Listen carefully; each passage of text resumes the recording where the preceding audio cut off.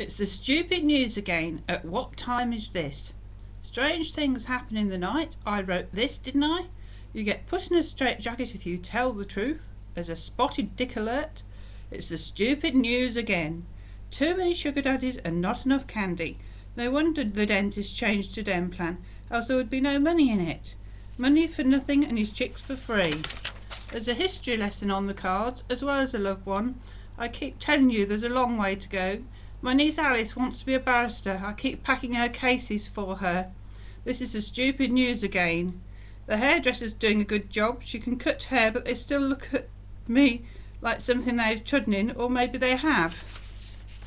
I'm playing the game of life again. I got fed up with Cluedo and snakes and ladders, kept keeping all the clues and sliding down the snakes.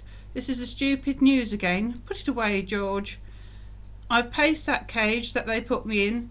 Now I'm free and I can sing. Tweet, tweet. What do I...